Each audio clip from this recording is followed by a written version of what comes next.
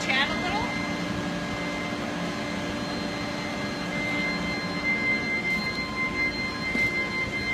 Why don't you explain to us what you're doing?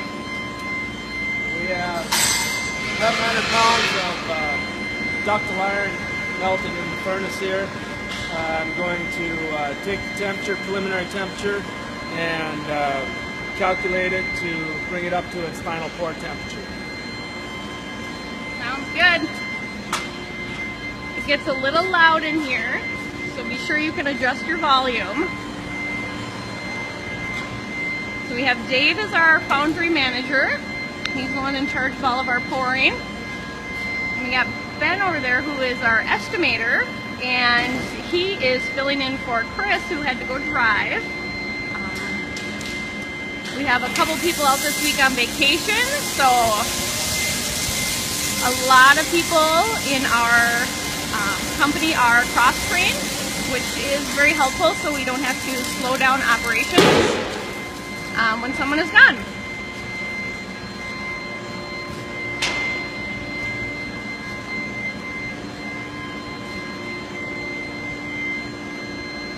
So this is our foundry right here. And they're getting ready to pour these molds over here.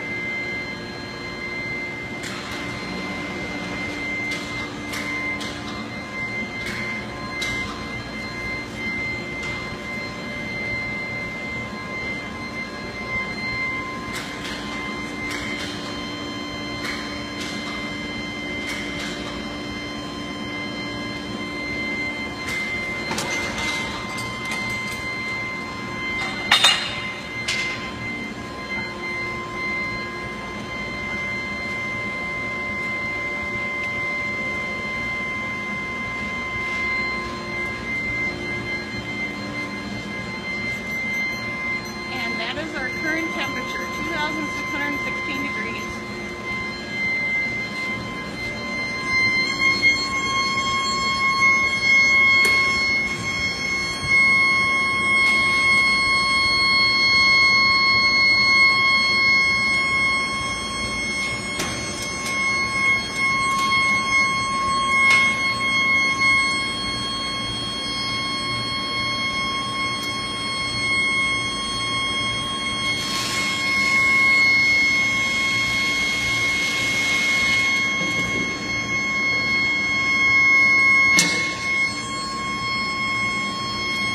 Dave will spend approximately 10 to 12 hours out here on days when he's pouring. Um, we have he has several pours scheduled throughout the day, and um, he usually pours two to three days a week. It just depends on what our um, what our business is like and um, what we need to get done for our customers and their time frame. Hey, Dave. We have a question. Yes. How long does it take to heat up to temp? Uh, from a from a cold charge to uh, molten iron takes about one hour, and then uh, uh, get it ready another half hour, pour it off. So about every hour, hour and a half to hour and forty minutes, we can go through a heat cycle. Thanks, Dave. Ben just added the magnesium and the cover steel into the treatment ladle just that I'll be pouring the iron into. It'll go down in, come over a dam, burn through the cover steel and light the magnesium, which changes it into the ductile iron structure that we're looking for. Thanks.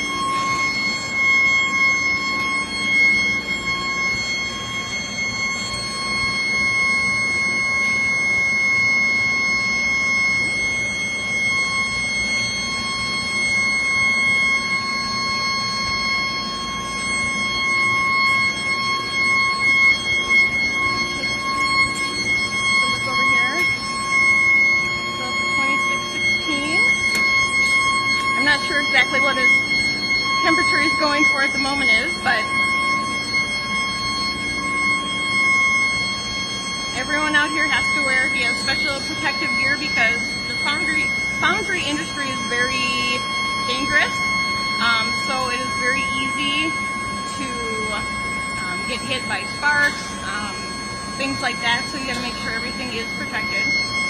as you will see in a little bit when he starts to pour, um, close up, you'll see how easily it would be to get hit by a spark or any other kind of metal that's approximately 2600 to 2700 degrees.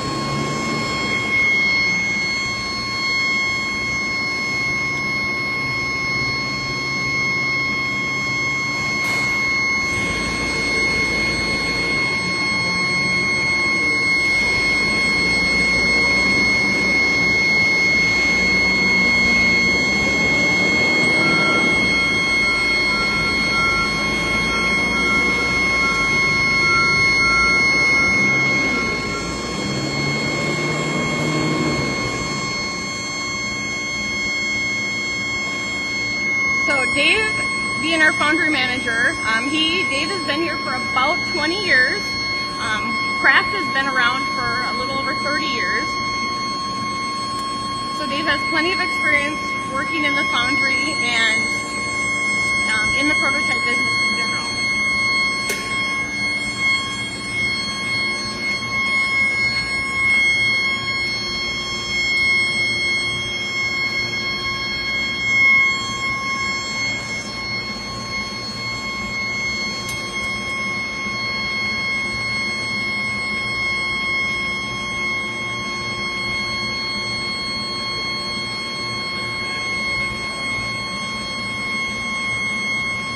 So the way we have our foundry set up it's a two-person operation. Um, someone needs to be pouring the metal, um, and then someone is controlling the crane ahead and doing any other um, things that Dave may need help with. So as soon as he's ready here, which shouldn't be too much longer, he's going to pour the metal from the larger furnace into one of the smaller ones so that it can be moved over to the castings it is then poured in there.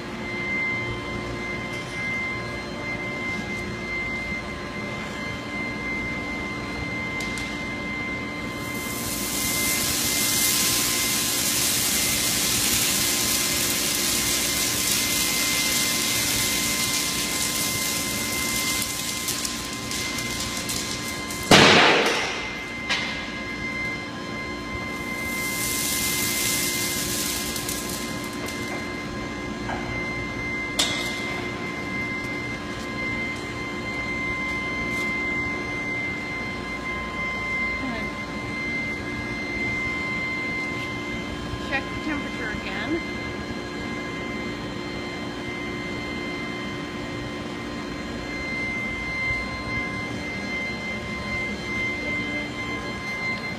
Pretty hot over here. Right now we're up to 2,872 degrees. Hey Dave, what'd you just throw in there? That is a uh, thermal temp uh, tip. With, uh, No, before that. oh, uh, slag coagulator. It gathers all the slag that's on top of the iron, and so I can spoon it off and throw it away, clean out the iron. Perfect.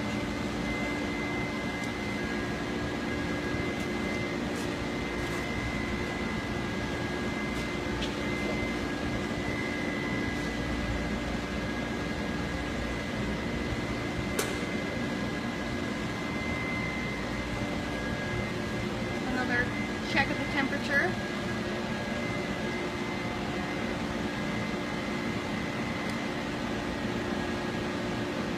We're at 2859. Currently here in Montrose, it's about 80 sunny, beautiful day out.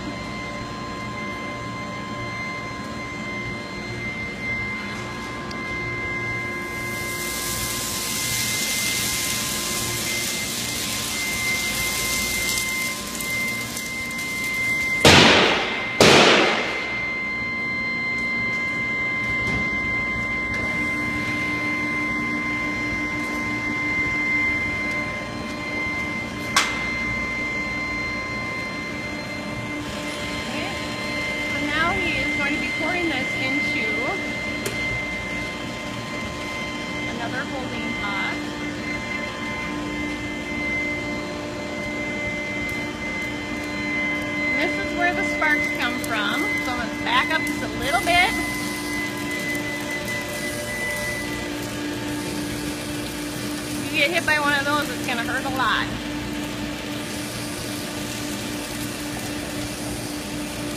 Even I have a pair of safety boots on. And safety glasses.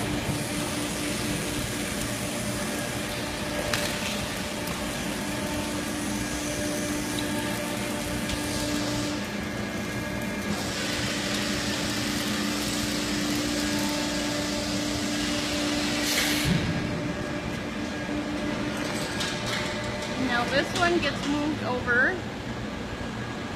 into a smaller one, which is then used to pour right into the molds.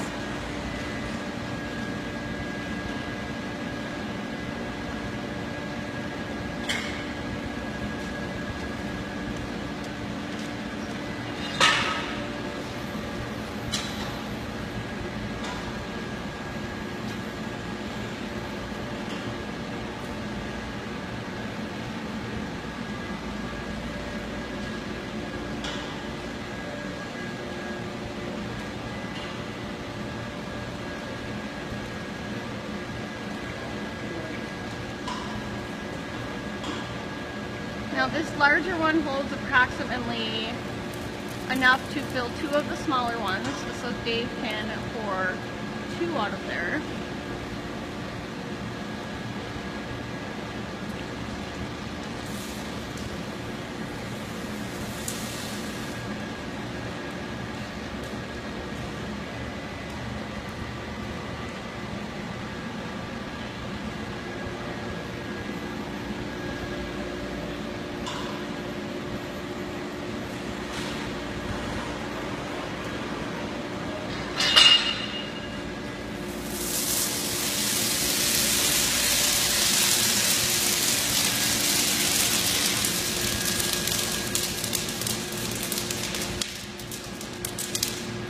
This area of the foundry is covered in sand, so that way if the metal falls, the sand will soak it up, um, which will save the floors, but also prevent anybody from getting injured.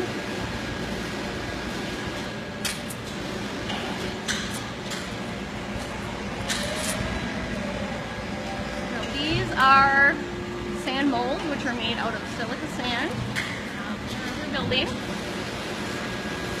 So these were also made right here.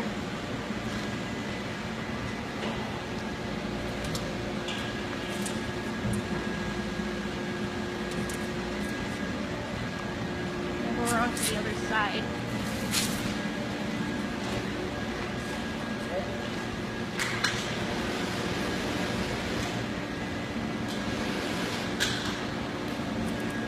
So throughout the day while Dave is pouring, he also pours test bars, are small bars that we have sent off to other companies so that um, we can guarantee that our machines are running properly and we are um, we are able to give the customers the correct um, iron recipe that they are looking for in their parts.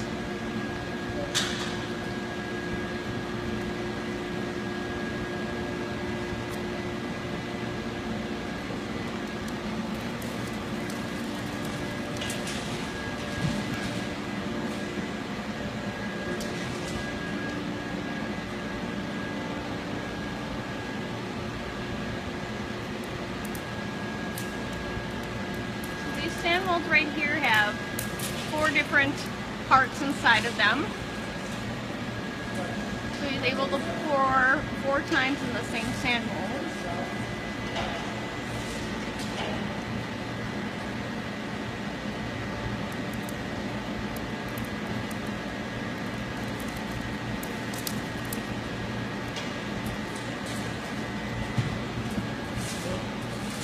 After these are all poured, they will be moved outside where they will sit overnight. Um, actually, they'll be moved back into the other building where they'll sit overnight. Then they come back outside and the sand gets knocked off of them and you have a completed part. Um, the parts still need to be finished.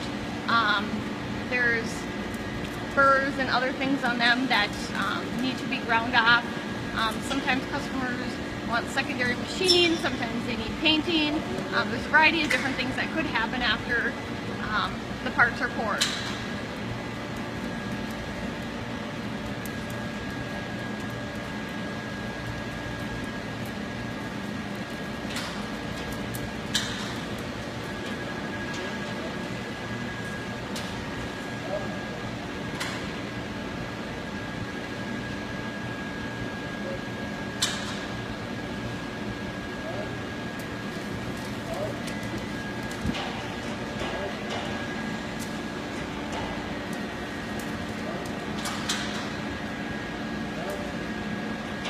getting a little hot up close.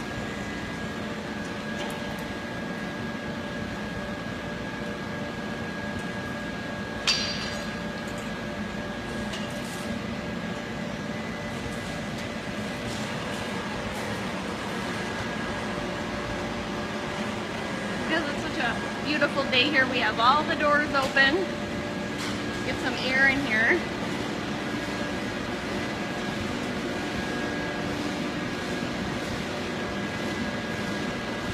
We're gonna make one more transfer.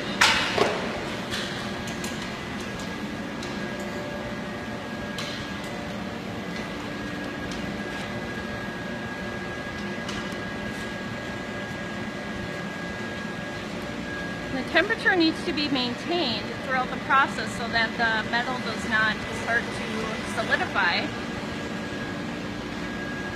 So it needs to be done fairly quickly.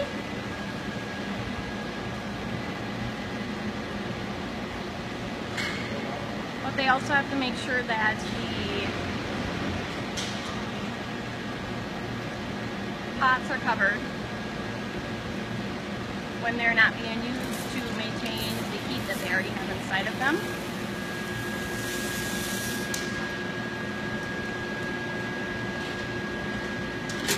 In the morning, when Dave gets here and the day he's going to pour, he heats up the metal in the larger furnace and he transfers it into one of these two times to warm that up so that when he pours it in there for an extended period of time, it has enough heat to keep the metal hot while he finishes pouring. Any excess is poured right into the sand.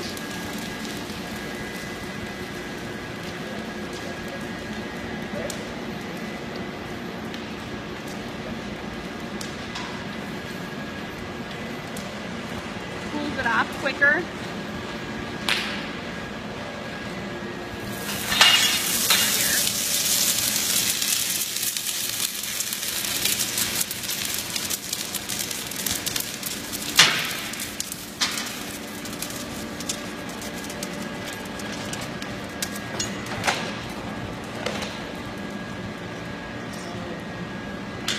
I don't have on quite as much protective gear as those guys do, so I'm trying to get as close as I can while still being safe. It's really hot up close.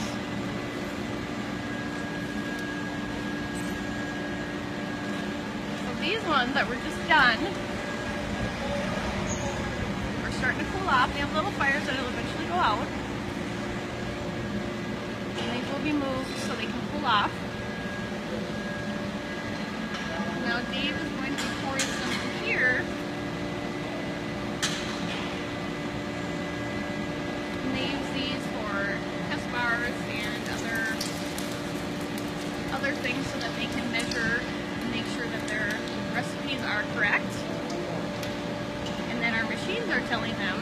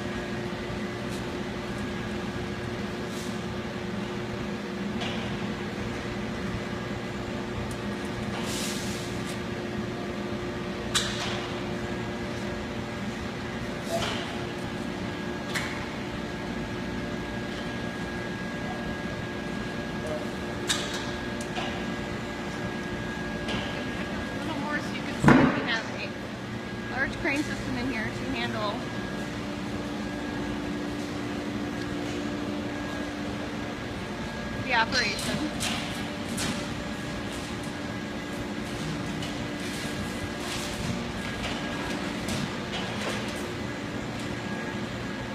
Most of the ports that we pour here are for prototypes.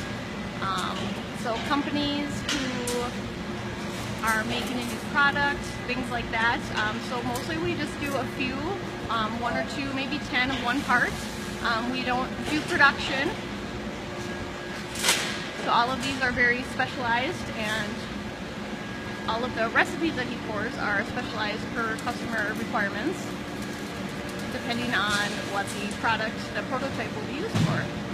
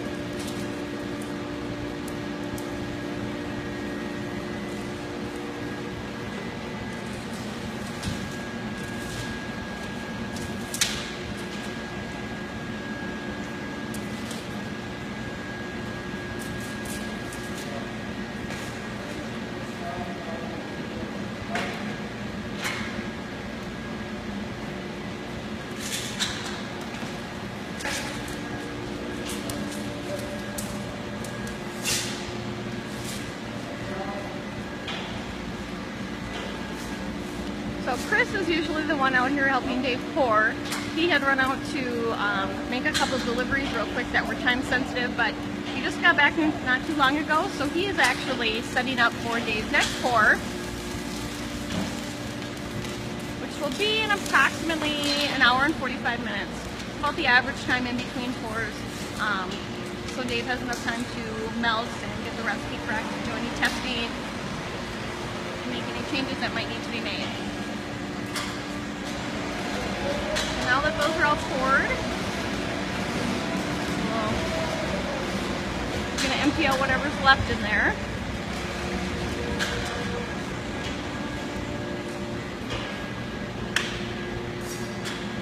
So the two over there are starting to cool off a little bit. The edges are getting a little, little darker.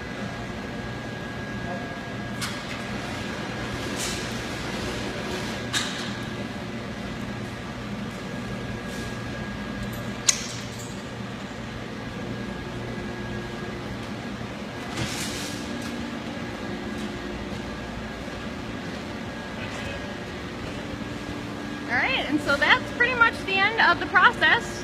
Everything's been poured, and now we wait for it to cool off so we can go on to the next step. So thank you all for joining us here, and we hope to do this again soon, maybe in a different part of the shop.